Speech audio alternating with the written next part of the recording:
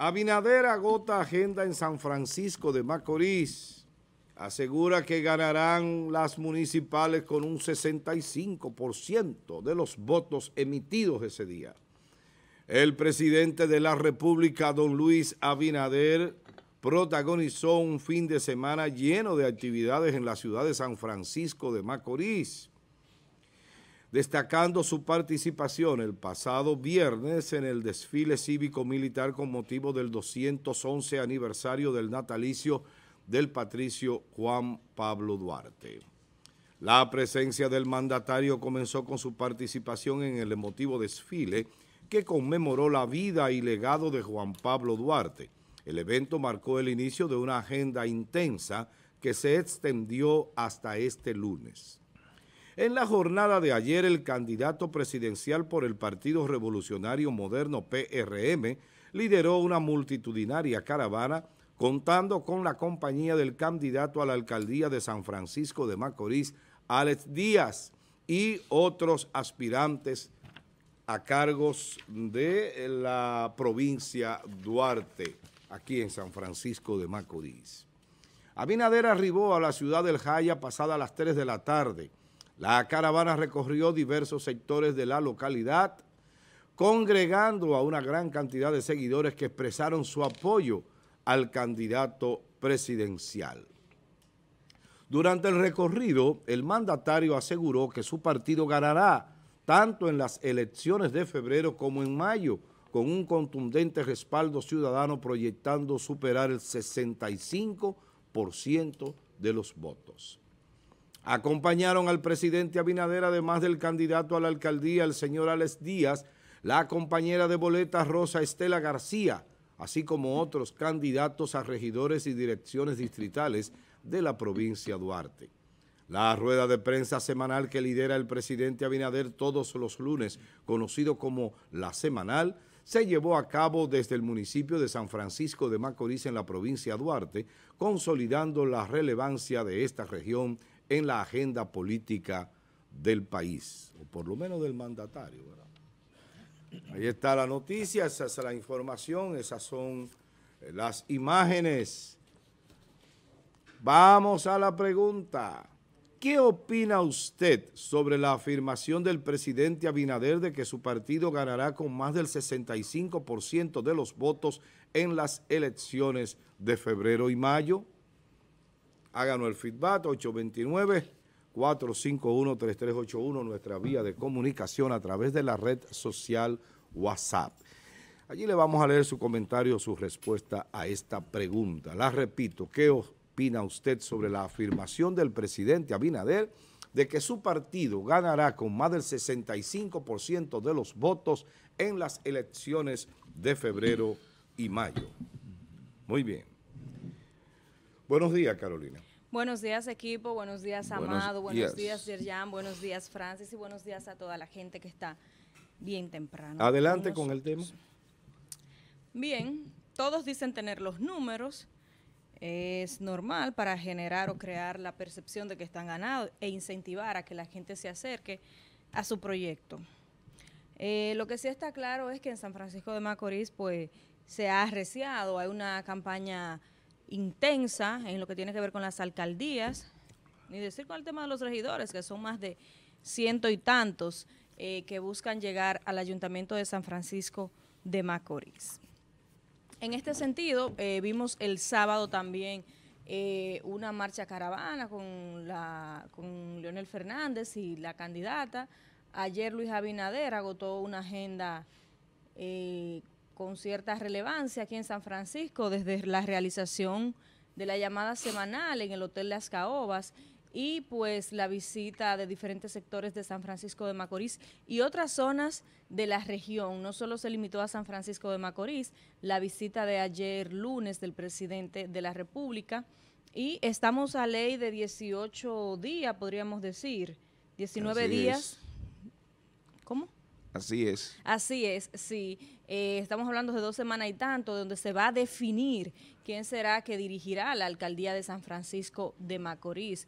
en el caso del ex alcalde de San Francisco de Macorís, lo hemos visto en el último mes y tanto, las últimas semanas, activarse, que en principio estaba eh, pues o esperando el momento, dicen eh, ellos, o, estaban muy tranquilos, en contrario a la candidata Carilín, que desde meses, meses atrás ha venido haciendo un trabajo eh, propio para darse a conocer, diferente al caso de, Alex Díaz, que ya era pues mucho más reconocido, y ha hecho una un trabajo importante pues tratando de visualizarse como una eh, posible, eh, o en esa búsqueda de llegar al Ayuntamiento de San Francisco de Macorís. Lo cierto es que nosotros estamos ya en la hora pico prácticamente para poder ver los resultados de esta intensa campaña política que se está viviendo en San Francisco de Macorís. y también poder descansar ya cuando pase todo este proceso un poquito. gracias, Carolina. Y ya, adelante. Bien, miren, es interesante. Evidentemente se tenía que arreciar las campañas en la República Dominicana. Estamos apenas tres semanas de las elecciones municipales. Sin embargo, es poco lo que hemos visto a nivel de, propuestas. Me gustaría, más que el escándalo en la calle, más que, que todas las vallas, más que el figureo al lado del presidente, y esto va para todo el mundo. ¿eh? Sí. Eh, Carilín es, es, verdad, tengo una relación eh, muy decente con, con Carilín, somos amigos, hemos compartido diferentes escenarios. Tengo una relación mucho más cercana con Alex, de, muchísimos años, de aquí de, Telenor, en la política eh, y en diferentes escenarios, pero como que ya uno quiere pasar de, de, la, de la bulla a la propuesta, porque honestamente, a mí poco me importa que haya mucha gente en una campaña. Y estoy en una caravana. Eh, eh, en una caravana. O en, un meeting, o en un encuentro. Eso poco me importa a mí. Lo que me importa es saber qué es lo que van a hacer por San Francisco. Porque gente lleva cualquiera. Eh, tú te ves a la 42 de Capotillo. ayer era, era infernal la cantidad de gente que había. Después de las muertes. No, no, no, antes de la muerte. Eso ah. es, la Capotillo se cierra completa, es la, la, la 42 de la Capotillo. Entonces, dígame usted, lo importante de esto sería escuchar la propuesta de, los candidatos, qué van a hacer, pero algo que sea real también. Sí. A, a, vendernos sueños, porque tampoco somos tontos y, lo anotamos. Y lo que usted eh, promete y no cumple, entonces se, se cometen demagogia. Miren, pero de esto hay que sacar algo importante. En este programa, y lo digo ahora porque a veces hay gente que duda de lo que uno dice. Miren, en este programa yo dije que Ariel Marte, candidato a diputado, lo iban a dejar fuera, o había la intención de dejarlo fuera, para colar el, al, a, Lupe. Núñez. ¿Recuerdan que lo dije aquí en este programa? Póngame una foto que yo envié ahí. La gente cree que uno... Es que las fuentes, el que hay que tener fuentes, pongan la full pantalla para que la gente la vea. Ese es nada más y nada menos que Lupe Núñez al lado de nuestro directo amigo Leo Carola, el alcalde de Villarribas. Dicen eso de desayuno. Se lo dije. Iban a dejar a Ariel Marte fuera para colar a, Lupe Núñez como diputado del PP. Pero ¿qué pasa? Cuando nosotros hicimos la denuncia aquí, Ariel Marte, que ni tonto ni perezoso, se fue a la capital y consiguió una sentencia a su favor. Ya no lo pueden sacar. ¿Mm? Pero era así. Por debajo de la mesa se estaba cuadrando porque recuérdense que había que darle apoyo a los candidatos, ¿cómo se llama? El de Santiago, que, que renunció del PLD que es un alto dirigente. de la justicia social. A Julio César Valentín, Lupe Núñez de la corriente de, la corriente de Julio César Valentín había que darle apoyo a sus candidatos. Ah, resulta que cuando se hizo la denuncia en este programa, Ariel Marte, como repito, que ni tonto ni perezoso se fue a la capital y consiguió una sentencia para blindar su candidatura que ya la había ganado. Y entonces ya no hay forma de sacarlo. No sé qué le van a dar a Lupe Núñez, que ustedes lo ven ahí, pero, ya está quemado. pero le trancaron el juego. Una, dirección. Bueno, ahí está Lupe Núñez que no sé en qué momento seguramente está con el PRM. Diputado. No. Entonces, ha tenido más vida como diputado. Qué bien, qué bien, finalizo, qué bien que se estén dando estas manifestaciones políticas interesantes porque eso dinamiza, ¿verdad?, lo que tiene que ver con, la militancia. Y les felicito a todos los que estuvieron en, en estos escenarios. Bien, adelante, Francis. Fíjense, para mí tenía tiempo y luego que la política se tornó un poco difícil en pandemia y post pandemia, y decía en muchas ocasiones que la población había perdido interés en la política y se había medio disgustado con los políticos, con todos nosotros. Pero ayer, ciertamente que la presencia y caravana del PRM con el presidente a la cabeza hace una demostración de, entusiasmo, de proyección hacia un segundo mandato. Y ya me preguntaba con lo que está sucediendo en el PRM, ciertamente a mí me preocupa que hay dirigentes que prácticamente han manifestado abiertamente su disgusto y contra respecto al candidato a la alcaldía. Creo que esto de ayer debe darle un mensaje a la disciplina de ese partido, que deben de alinearse con el presidente y los objetivos políticos que tiene el partido PRM, que yo quisiera que me explicaran qué, qué está sucediendo en algunos dirigentes con respecto al alcalde Alex Díaz, porque entonces estaría desdiciendo lo que es el esfuerzo que está haciendo Luis Abinader y que el PRM ayer quiso demostrar esa unidad y lo estoy denunciando porque realmente preocupa que uno reciba informaciones y pareciera que mientras uno está empujando para avanzar, otro está empujando para retroceder. Abiertamente le hago... ¿Pero quién es, ese? ¿Quién es ese dirigente? No, son esos dirigentes. Ah, son varios. Son varios. Ah, bueno. Y que están haciendo una campaña para el candidato contrario que sería muy de frustrante para lo que es el objetivo político del presidente, que ayer, vuelvo y repito, demostraron que tenían entusiasmo, que tenían fortaleza y que está detrás del triunfo, no solamente de febrero, sino de la reelección a su segundo periodo y que él no lo va a dejar de lado o no lo va a arriesgar.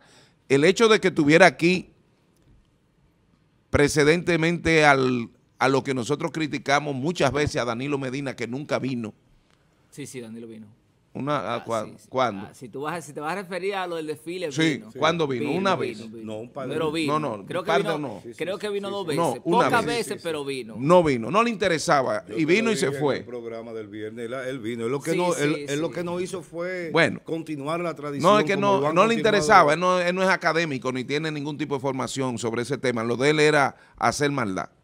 Entonces, pero está ahí, a donde está.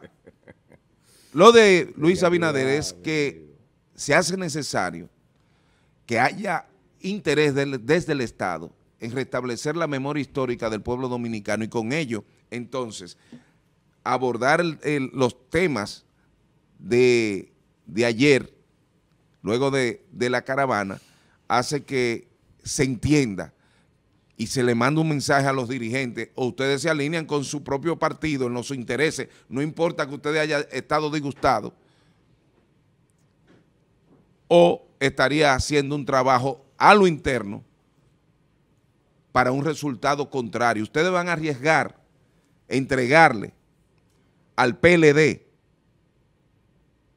a la Fuerza del Pueblo y al mismo PRD, que es el que va a gobernar a, San Francisco, esa candidatura, esa alcaldía, yo quiero saber dónde está el, el entendimiento político o la antipolítica de usted. Pero hay que ver, hay que gracias, ver el, quizá hay que ver el fondo. Miren, eh, bueno, pero yo lo voy a decir más para adelante. Miren, ayer, Lo digo como fuera de ese partido. Oigan, ayer uh, yo venía por la Bienvenido Fuerte Duarte, tuve que coger la calle 9, pero caí en el gancho porque la caravana estaba cruzando. No, fue larga. Yo duré mucho para ir para la loma. A mí a mí no me pareció tan grandiosa una caravana para estar el presidente, el líder de la república como primera figura de la nación. ¿Y dónde tú la cogiste? ¿Eh? ¿Dónde tú la tomaste? Yo duré unos minutos largos ahí en la calle, en la 4 con 9. ¿Tú sabes dónde estaba la cola? No, no sé. En el Gran Porvenir de la Libertad, más para allá. No, déjate de estar de ¿Sí? Yo fui todo, todo el trayecto de la, Para de la tú demostrar- para tú, para, para tú demostrarme eso, tienes que traerme un video Míralo de aquí. un dron. de un dron. estabas. De ese descuento. Porque en las caravanas, en esas multitudes, regularmente la gente eh, hiperboliza sobre todo el tema de las cantidades, sobre todo el tema de lo que pasó allí. La gente hiperboliza todo y lo pone grandioso y hacen fotos, pero las fotos son instantáneas de un momento. Espera. La percepción mía, yo no digo Ya, que ya. fuera, pero yo estoy diciendo mi Sí, sí. percepción. ¿Saben por qué? Que es lo mismo que está haciendo Francia. Correcto. ¿Saben por percepción. qué? No, pero él me está diciendo... No, no, que era larga. Porque él me yo, está diciendo con... Él me está diciendo con, con, con ejemplo, de, de tal punto a tal punto. Yo no. Entonces, eh, lo de él no es una percepción, según él. Yo de caravana no opino. No, no, porque es lo que te estoy diciendo. A mí me pareció que no era Oye, la gran cosota para estar el presidente. yo juraba que lo había Ahora, grabado. Olvídese de la caravana, eso es pendejada. Los pues, remeístas, los aliados van a decir que fue una cosa que nunca se había visto en la región, no en Macorís, en la región, que ni en la capital. Bueno, todas esas cosas van a decir. Eso no es importante. Eso es, eso es plume burro. Ahora, el tema está, señores, el presidente de la República lo que ha dicho, lo que ha dejado ver, lo que se debe leer entre líneas es que la candidatura de, de Alex Díaz le están dando duro, que los números de Alex Díaz y de sus candidatos no están como ellos esperaban, sobre todo Alex, porque lo que quieren preservar es el ayuntamiento de San Francisco de Macorís, que tiene dos periodos consecutivos en manos del PRM. Ahora, ¿qué pasa? ¿Por qué el presidente de la República se toma viernes, sábado, domingo razón, y ¿verdad? lunes para, para preocuparse por San Francisco? ¿Por qué realiza la actividad más importante de los últimos tiempos en términos de publicidad e información, que es la semanal? La realiza en San Francisco de Macorís, a riesgo incluso de que muchos periodistas de la capital que cubren medios nacionales e internacionales no pudieran venir. Eh, ¿Me entienden lo que le quiero decir? El tema está en que hay que aprender a leer entre líneas. La candidatura de Alex se ha desinflado, se ha desinflado. Alex tiene a su alrededor gente que no le conviene y él no se ha querido dar cuenta o no le importa que se den cuenta y ha seguido su camino tan campante como el hombre aquel. Y definitivamente la presencia de Abinader es una muestra de que eso del 65% es una mentira del tamaño de este, de este edificio. Él, él se refiere no al municipio, sino al país. Que van a ganar. eh, Pero las- tampoco en las el país va a ganar. un No. 65%. Entonces, ¿qué tú le- ok, vamos a pensar que el presidente de la República y los candidatos a, a senadores, diputados, ganen con un 65% en el país. ¿Qué le dejan a los otros partidos? Leonel no tiene 10%, ni 15%. O sea, tienen que pensar en eso porque lo que quedan son 35 y esos 35 hay que tirárselo a repartírselo entre los otros. Y, la, y todo el mundo está conteste que Leonel Fernández, él personalmente, tiene más de 20%, él personalmente como líder político. To- Entonces, yo lo que le estoy diciendo es, nos viven vendiendo eh, eh, eh, mentiras y quieren entonces que uno obligatoriamente se las crea. Lo de Lupe Núñez, eso no le aporta al PRM absolutamente nada porque Lupe Ah, Núñez... porque ya no está ahí. No, no, Lupe Núñez ha sido siempre un diputado inorgánico, que lo único que se decía, no, que tiene mucho apoyo en Villarriba. Bueno, está bien, ese es tu nicho, está bien. Pero Lupe Núñez nunca. ¿Qué hizo? ¿Qué tú sabes si Lupe Núñez presentó algún... No, no, no. ¿Eh? Señores, es increíble y entonces se va del PLD, se va del PLD porque no lo ha apoyado en el tercero. Era, ¿cuánto, ¿Cuántos periodos tenía? Como Tres. cuatro. Como cuatro. Tres o cuatro. diputados. O sea, eh, son malagradecidos. Malagradecidos, sí, sí, sí. Mira, sí. pa- para- Son, para- son, son, como los, son, son como los gatos, como Para- dicen, para que, conseguir- que el, que le echa comida cierra los ojos. Óyeme, si, escúchame, Yeri. Se habrá si, si tú, político. No, Sara Magullón, no, eso es otra cosa. Si tú, si tú en tu partido tienes el apoyo de tu militancia, de tu gente, de tus amigos, tres periodos consecutivos para ser diputado, señor, si una vez no te apoyan, déjalo, que sigue con tu partido, porque la verdad que te dieron, y sobre todo un inorgánico como es, pues tú me dices a mí que es Frank, no, que es Franklin, Eh, sí, fue- si, si tú me dices a mí, es Franklin Romero, óyeme, pues Yo Franklin, cual- conociendo a Lupe. cualquier partido por Franklin se rompe Pero aquello. ustedes Ya ustedes a- saben a, a- qué me a refiero. Donde la espalda pierde su honesto ¿Alguien nombre. escuchó a José Luis Rodríguez? Yo quería oírlo. Sí, ¿Alguien lo escuchó? No, que él dijo que van a hacer un aeropuerto aquí en el casco urbano de San Francisco de Macorís. Coño, pero... No, no, no. Pero, pero, Yo pensé que era, cuando él habló del Eh, hay- hay de- Oiga. yo en pensé que estaba urbano, proponiendo o sea, que era ni tiempo. en San Francisco. ¿eh? Mira. Porque tú dices por lo menos en la provincia, Mira. pero en el casco Óigame, urbano. yo quiero quitarme el sombrero como idealmente por algo que, le, que escuché decir a Franklin Romero. Yo no tenía idea, y mira que conozco a Franklin desde muchacho, pero no tenía idea que Franklin iba a resultar ser un político de tanta calidad. Yo Sí, un felicito político fino. felicito al PRM por tenerlo y ojalá que, ojalá que nunca lo pateen. Y que no se dañe. Sí. No, no, que No, lo, no, él- que él lo patee el partido. Ya Franklin es un muchacho formado, sí. que difícilmente eche para atrás. Pero Franklin le- preguntó eh, eh, Puntier en el programa que hizo con él, una entrevista. Mire, lo vi en una foto ahí con, la, con Carilín. Dice, no, pero espérate. La política no es para que nos hagamos enemigos. Yo Claro, conozco a claro. Carilín desde que era una muchachita y soy amigo de su papá, de su familia y le tengo muchísimo cariño. No, no, y tú, por ejemplo, le puedes hacer No, no, crítica, ni nadie puede decir. No, no, no, absolutamente. Y, ah, pues mira qué bien que tú Y lo- déjame decirte mira, una cosa, en el encendido del árbol navideño, Carolyn fue a visitarlo, estuvo Sí, presente. que esa debe o la sea, política. esa es la política. Esa es la No como algunos que creen que si uno dice algo malo aquí de él o que no está de acuerdo, quiere viene a hablar con Mira. Eugenio para que le callen la boca a uno. Mira. ¿Eh? Sigue Mira. por ese camino que te vas a joder. Mira, qué bueno que tú lo aclares para que no se vaya a malinterpretar. Si se trae a colación por lo que yo acabo de decir de algunos dirigentes que le están haciendo la pantalla al candidato local de la, del PRM, Alex Díaz, y están propiciando en contra de Alex ¿Pero quiénes dentro del partido? dentro del partido, dirigentes.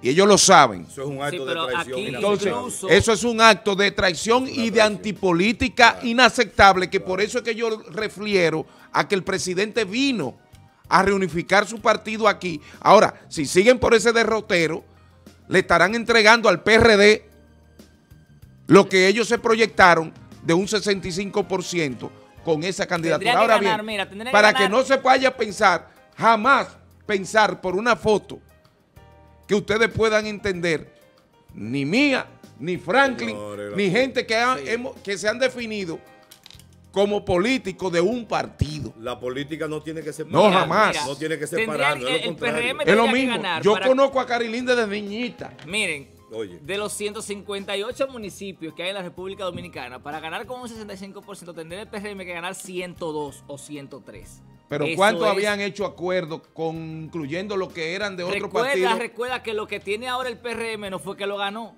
fue No. que lo compraron. Pero, Entonces, pero lo que te hay digo, que ver si se supone gente- que aquella vez que nosotros criticábamos la estrategia de traer al, al PRM muchos de los alcaldes actuales Exacto. De otros partidos, hay que ver, tú tienes que calcular si esa estrategia eh, anda por los 102. Sí, pero recuerda que no todos los candidatos que Han mantenido la ganar. posición. Por ejemplo, lo que me dicen en Pimentel es que perdieron. Porque Con- el. PRM, el PRM es el que está en contra del candidato del PRM ahí en Pimentel. Se lo ¿Por estoy? No diciendo. sé. Miren, eh, miren, hay unas imágenes que no sé Responsablemente yo, Aquí Francis Rodríguez. alguien- aquí hubo alguien que se preparó para hacerle una maldad a Alex. Eh, pongan las imágenes para que ustedes vean. Vamos. Habían letreros. Ah, miren sí. ese. Dice Luis cuatro más, Alex nunca más. Muy feo. Ah, Sí, pues yo tengo la razón. Ponga la otra. Yo no había visto gente. eso. Entonces, Ahí hubo gente, Ay, aparentemente qué gente del PRM, Sí, claro. que está con Luis y que... sí, Pero es está verdad. bonito el eslogan, no Y te lo pongo porque eso es público. Entonces, yo creo que Alex tiene que trabajar a lo interno del partido. Más, deje- vamos a decir, vamos a decir las cosas como son. Él sabe Usted que es un hay, partido, Él usted- sabe que hay un plan ahí Sí. en- dentro del PRM para que pierda. Pero, pero, Pues pero, tú estás, con- Gente- tú estás de acuerdo con lo que yo te pero digo. espérate, Pero espérate, espérate. ¿Qué ha- pero oye, ¿qué ha pasado? No, lo que pasa es lo siguiente, señores. Recuerden una cosa. El que siembra viento cosecha tempestades. Ahora, ¿qué prueba esos polvos, esos No, polvos, mira, óigame, esos polvos trajeron estos lodos. cinco de arriba. Sí. Cinco de arriba. Y yo también. Cinco de arriba. hicieron eso? No, no, no, no, no que hicieron eso. ¿Qué ustedes recuerdan de la campaña. Pero una cosa es que estén en contra de Alex y otra es decir que eso fue un Ah, no, PRMista no que lo hizo. yo no te puedo decir que fue un Pero que eh, eh, cuando hacemos esos comentarios No, no, no, No, conectamos. que hay gente, No, hay no, no. gente que está No, no, con no, el presidente y no Pero poner la decir. No, foto, no, no, pero no. espera, oye lo que quiero decir, poner la foto y decir que hay en gente contra de Alex del Díaz. Es una estrategia antipolítica de muchos puede dirigentes ser la por misma disgusto con oposición, Alex. puede ser la misma opo- la, la oposición, los contrarios para crear eso Sí, que estamos está bien, planteando pero miren acá. qué pasa, miren. Oye, en Miren, 24 No minutos abre la sí, farmacia. Pero ¿qué pasa? Yo no he dicho en este programa, nadie puede afirmar eso, que yo dije que se lo puso un PRMista. Que alguien preparó eso para la, para la visita del presidente. Claro. Y que hay gente en Señores.